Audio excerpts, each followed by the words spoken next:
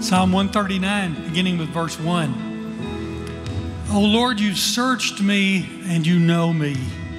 You know when I sit and when I rise, you perceive my thoughts from afar.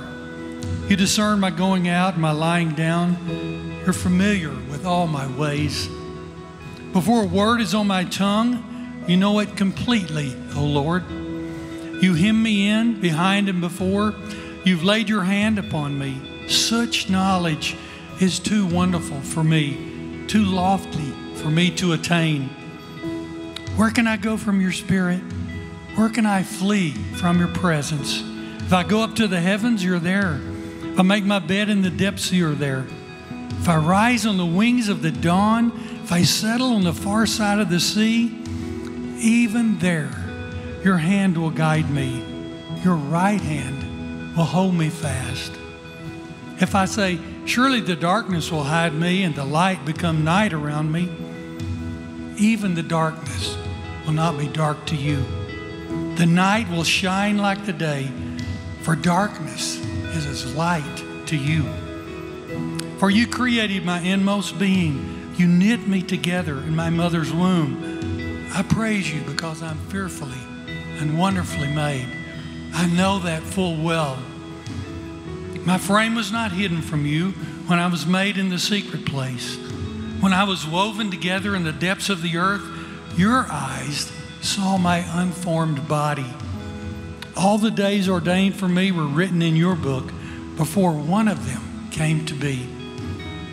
How precious to me are your thoughts, O God. How vast is the sum of them. Were I to count them, they would outnumber the grains of sand. When I wake, I'm still with you. If only you would slay the wicked, O God. Away from me, you bloodthirsty men. They speak of you with evil intent. Your adversaries misuse your name. Do I not hate those who hate you, O Lord, and abhor those who rise up against you? I have nothing but hatred for them. I count them my enemies. Search me, O God, and know my heart. Test me and know my anxious thoughts. See if there's any offensive way in me and lead me in the way everlasting. We join me in prayer. Heavenly Father, your word is truth. We affirm that today and we declare that. We also confess that we are broken and we are in desperate need of you. Thank you for the hope that we have in you that we don't have to be the same people tomorrow. We don't have to be the same people tomorrow that we are today. Use your word, Lord, the power of your word, the truth of your word, the teaching of your word this day to heal our brokenness Bring us wholeness through it. Thank you for Petey and his family. Empower him this day, Lord Jesus, as he teaches us. And guard his heart and his mind from the evil one. In Jesus' name we pray. Amen. Amen. Amen. Can we give it up for Sherwin? Love you, man. Hey, why don't you turn around and meet some people around you? Give some hugs, some high fives, introduce yourself. If she's single, get her digits. Go.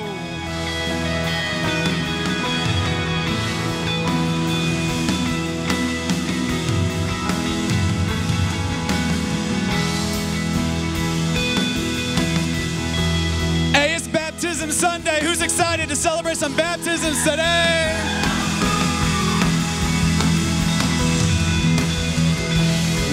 Baptism is the public declaration of a, of a private decision you've made to start following Jesus. And uh, we got some people that are going to do that today. We had two people in our first service that got baptized. That was incredible. And so we celebrate that. Yeah, that's big. That's big. And I think it's good. It's good for us to know, like when we talk about giving, when we say like financial giving, and we say, hey, like this church doesn't happen without your generosity. Like this is why we give Like we give for life change. We give for, if you were here last Sunday at our 11 a.m. service, the story of Danielle who got baptized at the end of service. The stories that we are gonna see get baptized today. Like, man, we don't give just to keep the lights on, like, and the building going. We keep the lights on, the building going so that people can come here and discover who Jesus really is. And, and people are doing that every single week. And so, man, uh, continue to give. I just want to encourage you in that. Uh, you can give on our website. We got wall boxes in the back of the room. But let, uh, let, us keep giving big to fund and fuel this mission uh, that God has us on. Because, man, He's changing lives. He's changing lives. Um, but today, I want to bring you a message uh, out of Psalm 139 that Sherwin read to us, which, by the way, I'm just saying, Sherwin, you better warm up them vocal cords more often because I'm going to start every service off with Sherwin reading and praying I need Sherwin, I need Sherwin like to be my like alarm clock. Like when I wake up in the morning, I need Sherwin's voice reading over me as I wake up. That, would be the good life. Um, I want to bring you a message today from Psalm 139 that we're calling The More Things Change, the more they stay the same. All right, the more things change, the more they stay the same. I, uh, I was sitting on my back porch several weeks ago. It was on Tuesday morning. Tuesdays are normally my like uh, sermon prep day um, to just get away from everything, kind of unplug and see what God's saying and, and get, get everything ready for preaching and all that. And so I was sitting out real early in the morning. I was, I was up before my kids got up. I was out in that Colorado sunshine, which, which y'all know, like if you're new to the area, if you just recently moved here, um, which we actually had a lot of people last service, several people last service that had just moved here, you need to watch out because this Colorado sun will get you. Like, you're like a mile closer to the sun here. You sit down and think it feels cold outside, you're gonna be a lobster by the end of the day. Um, so I'm sitting out there enjoying the sunshine, getting a little bit, a little bit fried, and, um, and, and, I, am writing down, I'm just spending some time with God, and, and I wrote down this phrase uh, the more things change, the more they stay the same. And I started just thinking about my life, and I started thinking about everything that had changed in my life over the last like year, five years, 10 years. Right? Like, go back in your mind for a second, 10 years ago. And what was life like for you 10 years ago? 2011. Like, my, my life was totally different. Everything had changed. My wife and I didn't even have kids yet. We got three now. We had no kids. It was date night every night. It was amazing. I mean, so much in my life was like 10 years ago, I was coming out of my first bout with depression. I was, I was coming out of burnout from ministry and not even wanted to be in ministry anymore, but God had led us to go to this church in the middle of nowhere, small town Kentucky, and be a kids pastor. And I'm saying, if there's one thing you don't want me to be at this church, it's your kids pastor. I love my, somebody said amen. Taylor, shut up. I love my kids. I, I tolerate y'all's kids. No, I'm kidding. I love your kids. I'm kidding. but legit, you don't like you don't want me to be the guy singing and kids ministry guy. But that's what we were doing. And like, like our life was so different. I remember the apartment we lived in. Like the apartment we lived in 10 years ago. I remember because it made my wife so mad. Because so little pro tip, if you're newlywed, don't ever sign on to a lease agreement to a place that your wife has not seen yet. That's bad news. I saw it on Craigslist. That was probably mistake number one. It was a Craigslist ad for an apartment. It was dirt cheap. I show up, I sign the lease, and I go, well, we show up, and there are two things I remember about it. One was uh, there was something wrong underneath the house, uh, underneath the apartment. I'm not sure what it was. I'm not sure if there were like dead bodies under there. But every day you'd wake up, and like the carpet would just be a little damp, just a little wet, and you're like, oh. Like we had to wear slippers and sandals at all times. You never wanted your feet to touch the carpet. The other thing that really made her mad though was uh, I remember we were moving in, I'm like unpacking boxes in a different room, and I hear from the other room, say, hey, babe, where's the dishwasher? And I'm like, girl, that's a dumb question. Dishwasher's in the kitchen. She's like, no, I'm in the kitchen. There ain't no dishwasher. I was like, oh no, did I? Did I sign for a lease with a house with no dishwasher? And I did. We ate on paper plates and paper bowls, plastic for an entire year. I was like, I'm not hand washing these things. I'm not an animal. We just we bought the plastic plates for paper plates nonstop. But like so much had changed. Ten years ago, think about this. In the world, who was the most popular musical artist at the time? The, the, people who made billions off of us listening to them. It was LMFAO, Party Rock Anthem. We made these, these bozos bajillionaires. That was awesome, Michelle. That's perfect timing. That was what that was 10 years ago. All right, think, think five years ago. Go a little closer. I know that's a long, long time. Think five years ago. Think summer 2016. Where were you? What were you doing? Five years ago, summer 2016, uh, my wife and I just moved to downtown Indianapolis to help start a church in the middle of the city. And they told us it, they told us it wasn't possible. They told us it would never be successful. And we moved down there and we had about 100, 150 people as a core group of people that were committed to praying for the city and loving the city and, and sacrificially giving and serving. And, and we just kept believing that God wanted to do something big. In this. And we had no, and everyone told us it couldn't happen. And we saw in the middle of that time God take 100, 150 people. And on opening Sunday, we had over 1,500 people there. And God just exploded this thing. And it opened my eyes to what God can do when a, when a group, it doesn't have to be a huge group of people, when a group of people come together and they just commit themselves to the mission, they pray big prayers, they give big, they serve big, and they just love people. God can do so much with even just a small group of people. And I'd never even experienced anything like that before. But five years ago, that's what we started to experience. I mean, five years ago, we didn't even have our little baby girl Tatum. The, the one who rules the roost in our home had yet to be born. Right? Everything was different. Five years ago, summer 2016, there were rumblings. Y'all remember this? There were rumblings and rumors that a reality show celebrity could be elected to be our president. Yo, that was a rumor. Everyone's like, no way, it won't happen. Surprise! That was five, that was five years ago. Think, think back just a little closer. Go back one year. Where were you a year ago?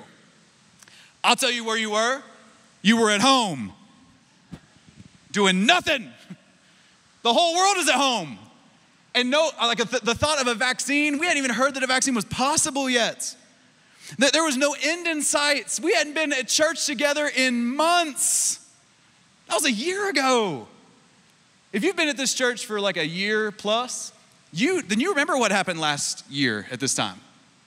Last year, this time is when we gathered some people together, about 100, 150 people in a room together. It was the first time we had gathered anyone together for church and we said, hey, I know this is crazy, I know this is insane, but we feel like God is leading us to like do something insane during this pandemic. We feel like God has given us this opportunity to buy our first permanent home at 1710 Dublin Boulevard, and somehow, some way, we don't know how we're gonna afford it, we don't know how it's gonna be possible, but we think we should start praying and giving towards this. And then I said, I said one of the dumbest things I've ever said in front of a group of people. I said, hey, we need to raise $1.8 million in like 60 days. And I was like, uh uh-uh. uh. i am out. there's no way. Like, just go ahead and, like, there's no way this is gonna happen. And I, I remember, like, with our elders circling around, like, Frank, you remember you were there. We, we stood outside this building when it looked like that. We stood, like, right up here in the corner, and we laid hands right there on the building and prayed that God would give it to us. And about 100 150 people in the room pulled together and all of a sudden now you are you are you are standing in a miracle. Like this thing should have never happened. That's look at how much has changed in a year. That's amazing. And look how far you've come right? Like forget like the, the, the world stuff for a second just think about you personally. Look how far you've come 10 years five years one year. Like, I know, I know the world is hard on you. I know the world beats you down. I know the world is discouraging to you in so many ways. I know you're always probably your own harshest critic, right? Like, you're the one that's always saying, man, I should be better. I should. But hold on for a second. Look where you are right now. You're in church. You did it. you, like, you could be out in the mountains, you could be doing anything. 10 years ago, come on, five years ago, you would have laughed at the thought of you being in church right now. But you're here. Like you're doing so much better than you think you are. You have come so far.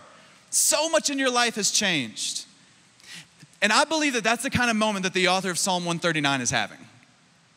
I think the author of Psalm 139 is having a moment on his back porch, journaling a little bit, and just reflecting on how far he has come, how much he has grown, how much his perspective has changed. Look at it. He says, he says, You've searched me, Lord, and you know me. You know when I sit and when I rise.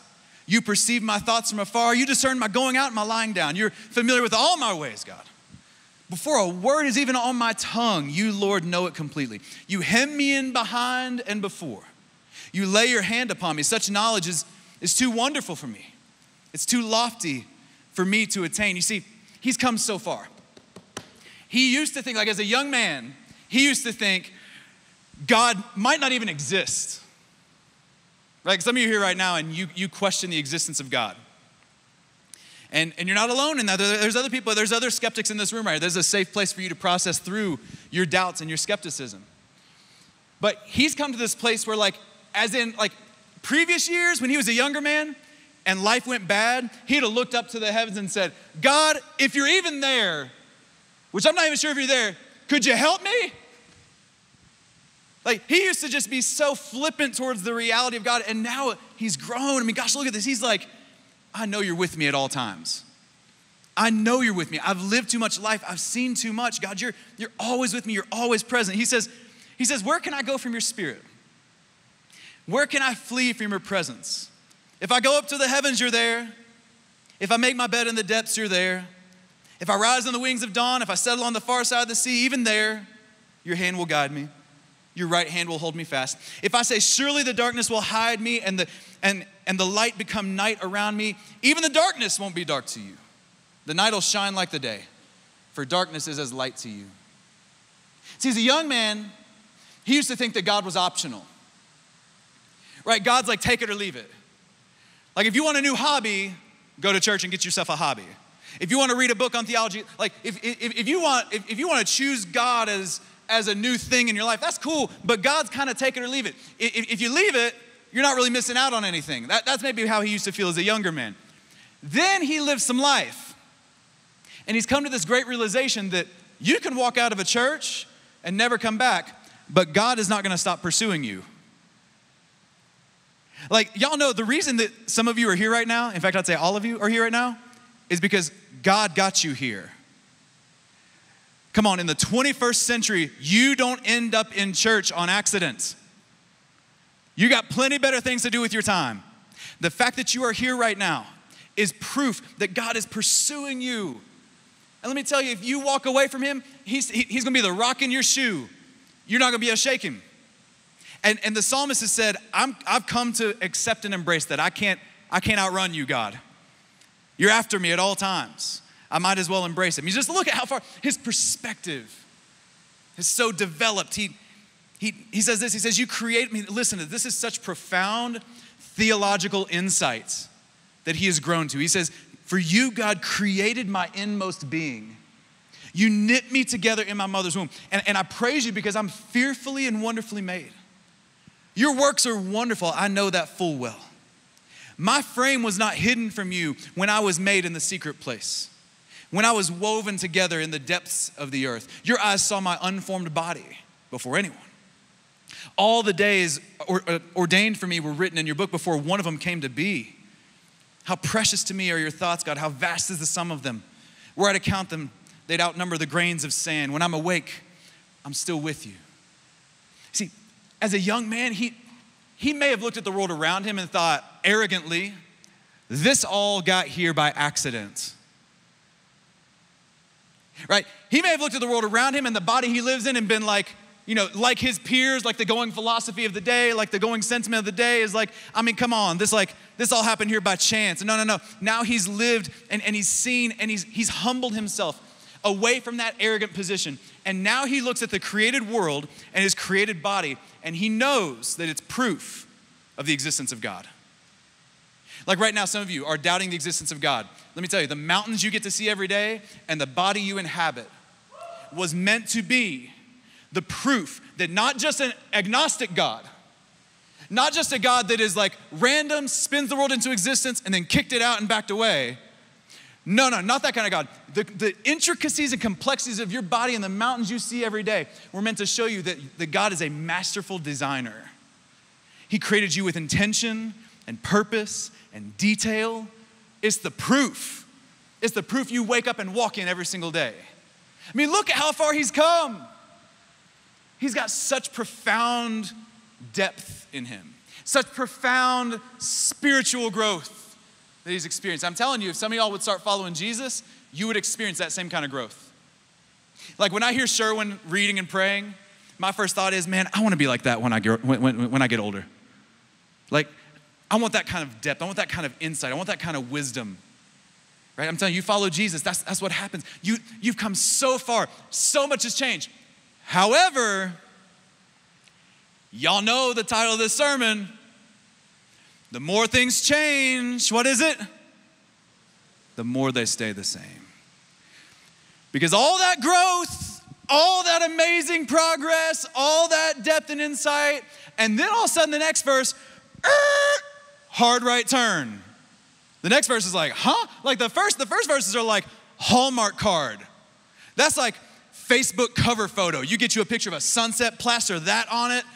Oh, grandma's gonna be so happy. She's gonna like your cover photo. It's gonna be amazing. But then this next verse, it's like a head scratcher. It's like, huh? He says, If only you, God, would slay the wicked. Away from me, you who are bloodthirsty. They speak of you with evil intents. Your adversaries misuse your name. Do I not hate those who hate you? Hate's a strong word. And abhor those who are in rebellion against you?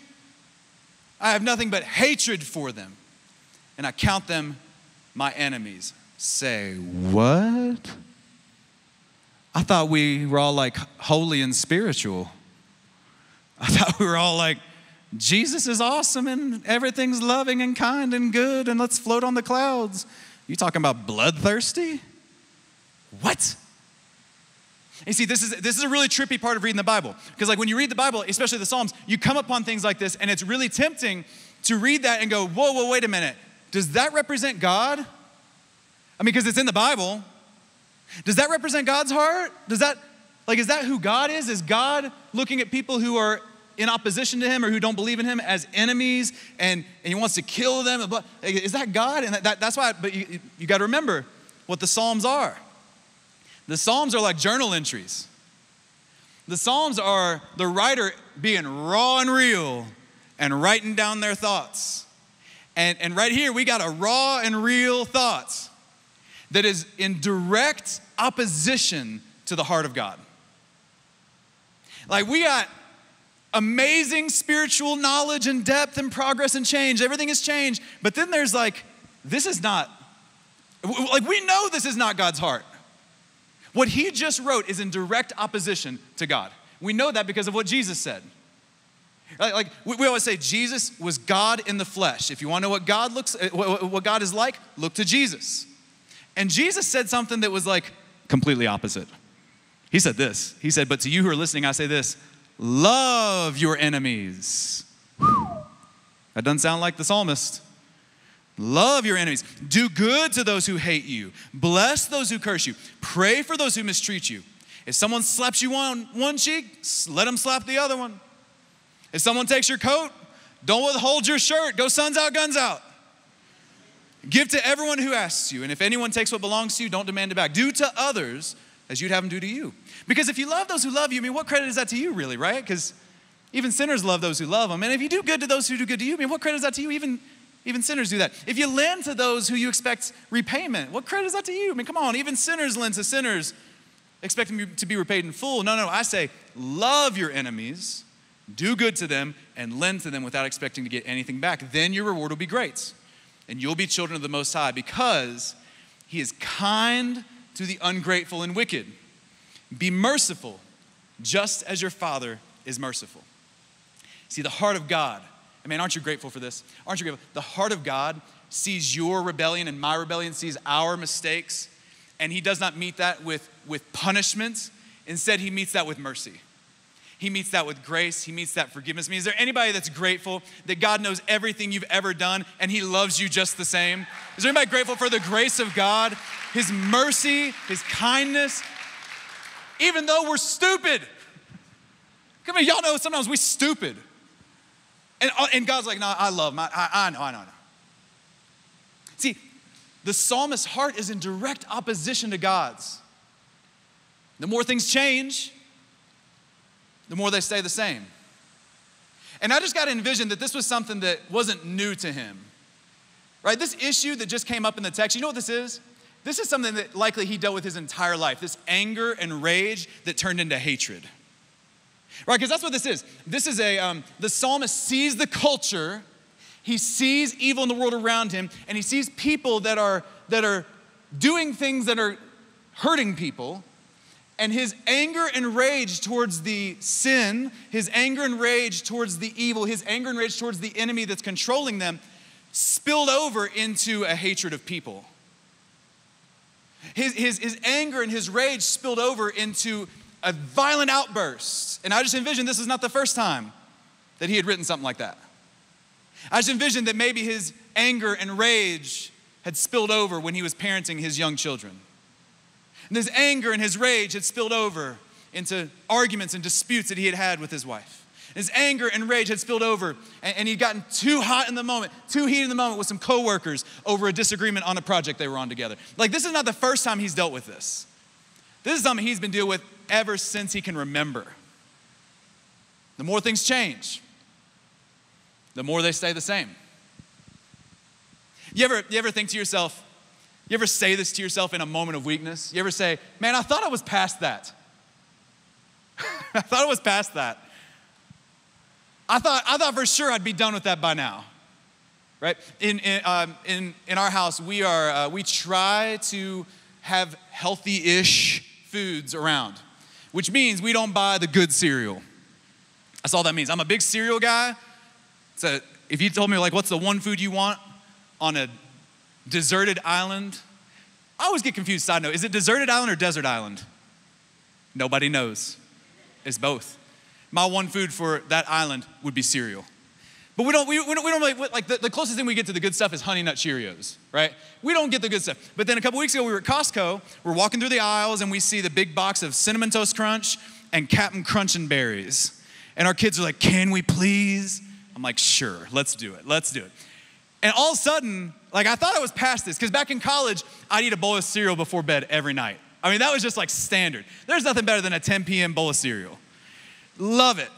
And I'd eat one every single night. But, but then, you know, once I got married to Brittany, she kind of whipped me in the shape. No, no, I can't, can't do that. Like grown men shouldn't eat Captain Crunch and berries every night before bed. That's not good. But then I found myself, once it's back in the pantry, I was like, oh my gosh, I'm, I'm either pregnant or something because I'm craving Captain Crunch and berries every night at 10 p.m. What is wrong with me? I thought it was past that. Apparently, I'm not past eating like a child. I thought it was past that. Like, I thought it was past not being able to sleep on Christmas Eve. How many of y'all still can't fall asleep on Christmas Eve? Oh man, my people. I thought once I became a lead pastor and started having to preach Christmas Eve, right? You got to preach like service after service after service after service. I thought for sure I'll, I'll be able to sleep like a baby on Christmas Eve then. Nope. Like my body is tired, but my mind is like presence. Let's go. I'm so excited. My gosh. Thought I was past that. Thought I was past that. You, you ever think that when you look at, at, at the world around us? Like, I thought we were past that. I thought we were past racism. Uh uh surprise. Just because it's not in the news, just because the talking heads aren't talking about it, just because there aren't protests right now, racism's still alive. Surprise, thought we were past that. Uh uh-uh, uh not quite yet. Like, I, I, thought, I thought we were past political division. Election's over. Uh uh, not so fast. Still there. I thought, I thought the pandemic was over, right? I thought, I thought that means like because the pandemic's over, masks are gone, vaccines are out, like doesn't that mean that we should be past isolation, loneliness, and anxiety? Surprise! It's still there. It's still right here. We're still dealing with it. And, and much more than a problem we see out in the world, is a problem we see in us. I mean, come on, many of us, and I speak to the adults in the room right now, students in the room right now, you are right now working through things and you're experiencing things and you're developing habits and tendencies that, if you aren't careful, will become lifelong issues. Many of us in the room right now, the adults in this room, are dealing with insecurity. And it's the same insecurity and it's the same feelings that we started having in middle school. It's the same junk. Many of us are dealing with an image management problem that started as an elementary student when we started exaggerating the truth and lying a little bit to impress people and, and just twisting and warping the truth a little bit to get a laugh. And now here we are today, still cutting corners, bending the truth, exaggerating at work to impress our coworkers. I mean, come on. Like, the more things change, the more they stay the same. Some of us are dealing with broken, brokenness in our hearts, bitterness in our hearts that we have been carrying for 20 years. And, and, and it's, it's there. It's still there. Like, I, have still got all, I'm telling you, when I was sitting on my back porch writing this, I wrote, the more things change, the more they stay the same. And I started reading Psalm 139, and I started listening to all the things that God had changed in my life, all the ways that He had grown me. And then I started going, but man, dang it! I'm still the same, in many ways, I'm still the same young man that was struggling with things when I first came to Jesus at 17, struggling with the same old stuff. I'm still, I'm still struggling with fear of the future, fear that at some point the other shoe is gonna drop. Like things might be going good, but that, that can't last forever. Right? Even though I've seen God's faithfulness time and time and time. Just this past Tuesday, we had, a, we had an elders meeting, the, the, the, the overseers of our church, and uh, Sherwin was there, and our, our, our, other elders were there. And, and they were asking me, like, how am I feeling about the future? I'm like, well, man, I'm good. I'm a little nervous about the next two years. I mean, we had a good past couple years, look at this building, but I mean, how long is that gonna keep going? And they were like, why are you nervous? Why are you worried? And I'm like, I don't know. it's the same, it's the same thing I've been wrestling with my whole life.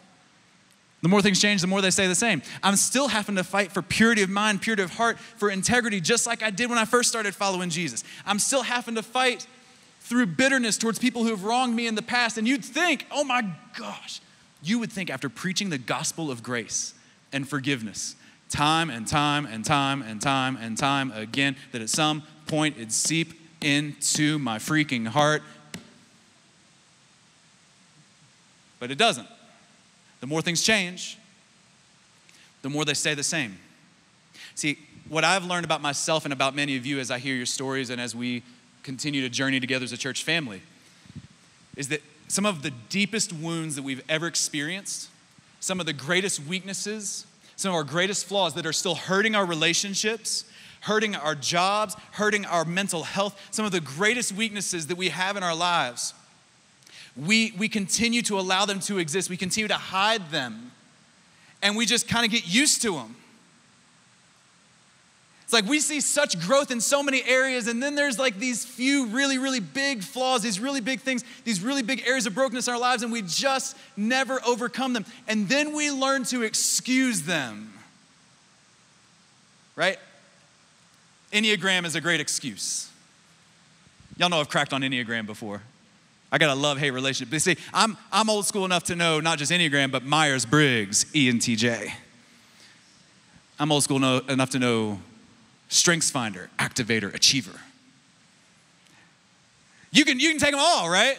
But come on, at the end of the day, sometimes we use these personality profiles to excuse some of the largest and most, most um, uh, destructive areas of weakness in our lives. I'm an Enneagram 8, so now I've got permission to be a jerk.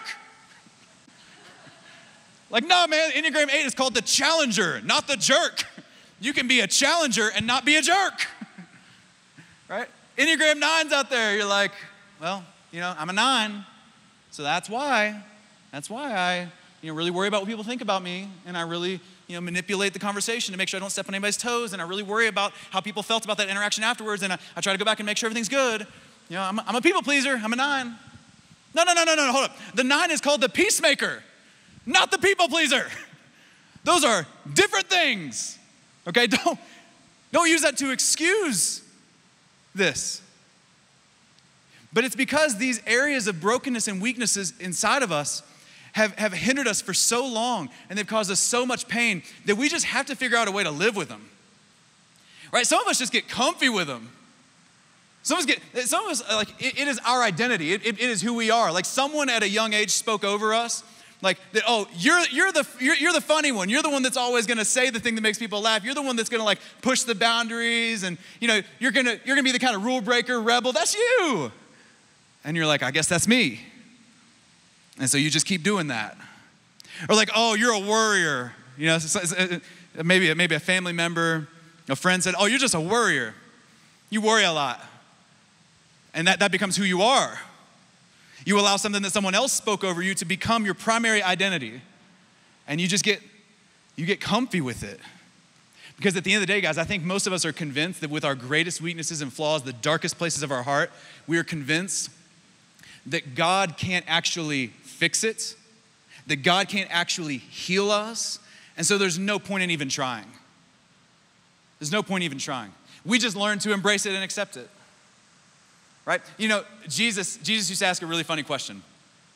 If you, if you read the New Testament, you'll see that Jesus oftentimes would come up to people who had been dealing with something their whole lives. Like he'd, he'd come up to a guy on the side of the road who had been blind his entire life. He'd come up on a, on, on a guy who'd been crippled his entire life, unable to walk. And he'd ask a really funny question, kind of silly. He'd say, Hey, do you want to be healed? Do I want a million dollars? Yeah, that'd be awesome. Yeah, yeah, Jesus, I want to stay, stay blind, sure. But see, Jesus asked that question for a reason. Because he knew that sometimes we just end up living with it.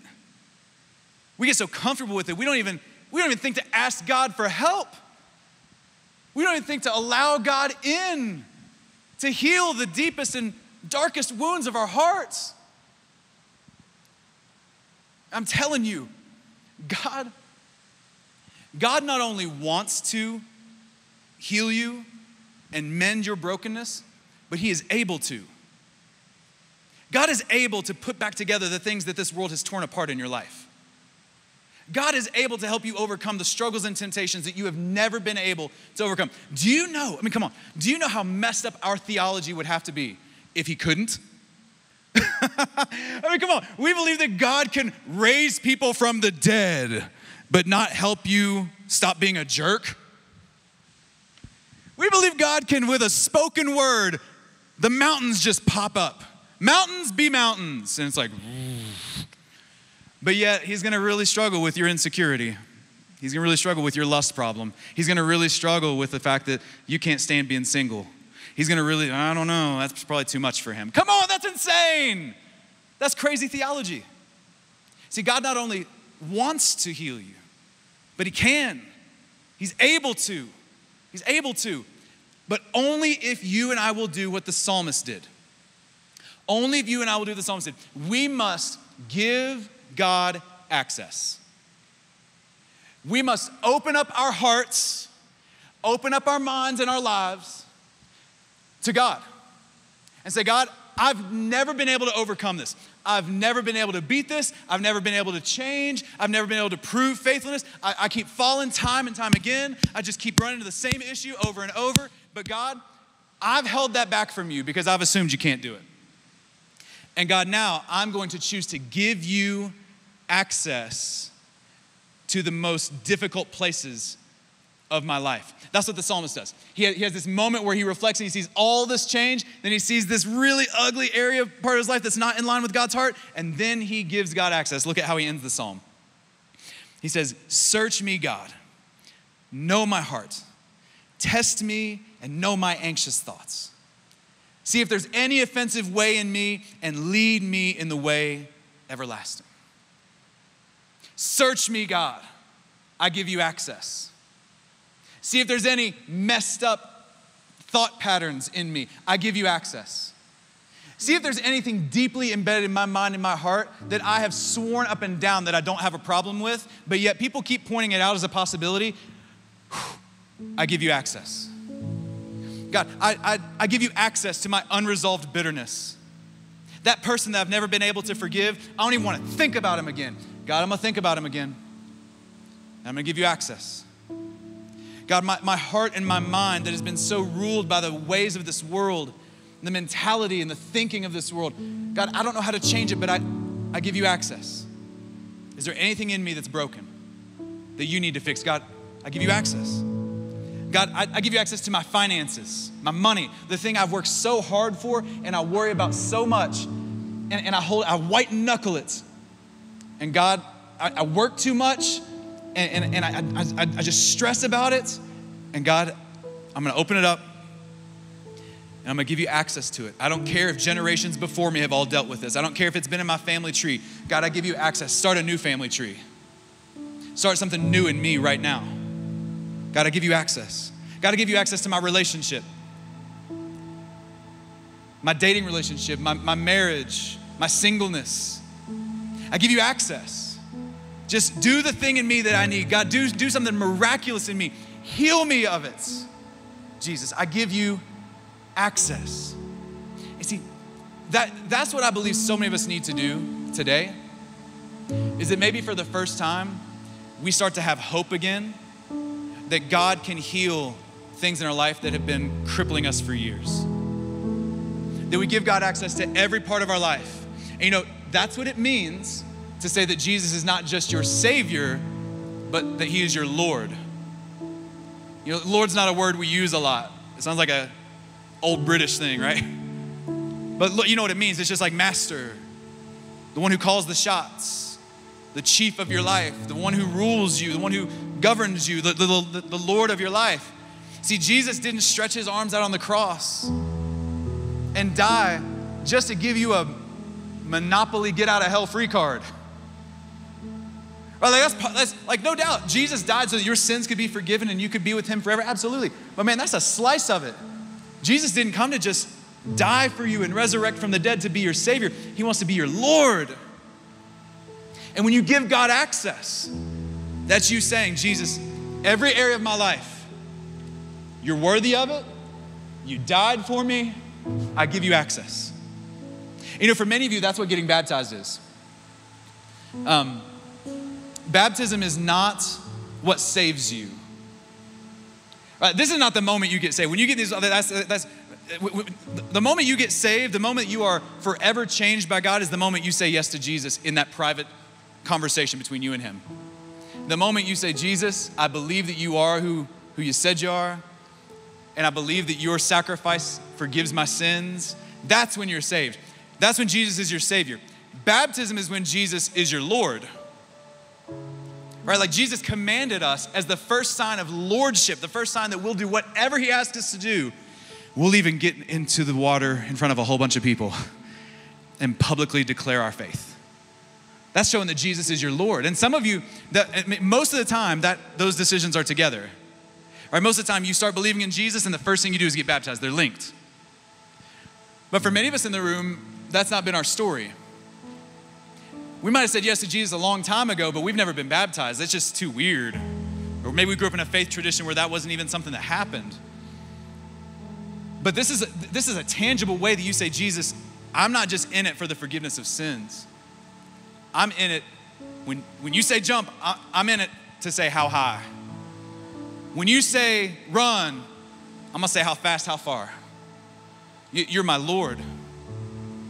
And, and I wanna give you the chance to respond in that way. We're gonna celebrate a few people that are getting baptized today, and I believe there, there could be more. We have, we have everything you could need. We got shorts, shirts, brand new clean undies. We got everything you could need. But it's the time for you to symbolically say, I'm in and I'm going to follow you wherever you lead me. And I believe that some of you need to make that decision today. I think some of you need to just have a moment with God where you give Him access to some parts of your heart that you've never opened up to Him. And so we're going to have a, a time of response and worship where we just do all that. We're going to sing, we're going to open up our hearts to God, we're going to give Him access, and then we're gonna do baptisms. And so I'm I'm gonna pray for us in just a minute. I'm gonna walk off the stage and go out those back doors. And if you want to get baptized today, just meet me out there. We got everything you could need. And so let's respond to God today. Let's, let's let today be a moment where we walk out of here and Jesus has greater access into our life than he's ever had before. Let me pray that for us. Would you stand with me? Let's pray together. Jesus, we love you. We love you. We love you. You're so good to us. And we thank you for your sacrifice on the cross 2,000 years ago. God, it was a long time ago that you did that, but it's just as real today as it ever has been. It's just as significant and just as powerful as it ever has been. And so, God, we, we come together in this room today just to celebrate your love, to celebrate your forgiveness. And God, I pray for courage right now for our church, that they'd have the courage to to do what our mission says to do, which is to follow you fearlessly. God, I pray you'd give courage right now for people to open up their hearts and to give you access to things that they never thought could be healed before. God, we open up our hearts to you, open up our minds and our lives to you. And God, I pray for anybody in the church right now that is new to this, but they know that you're the way, the truth, and the life. They know that they're not here by accident. And they're ready to say yes to you. God, I pray you give them the courage to walk out those back doors. And God, I pray for anybody here that's maybe been following you for a long time. I pray for courage for them. If they've never been baptized, just the courage to step out in faith and to do what you've called us to do as a sign of obedience, to make you the Lord of our lives. Jesus, you're the Lord of our church. When you say go, we'll go. And um, that's our commitment to you because of all you've done for us. And so, God, we open our hearts to you in this moment. We love you, and we ask you to meet us here as we worship you, as we celebrate life change together. And it's in Jesus' name we pray. Amen.